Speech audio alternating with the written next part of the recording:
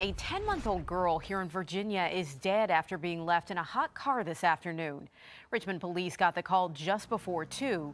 The child was reportedly left in the car while an adult was grocery shopping and died of cardiac arrest on the way to a hospital.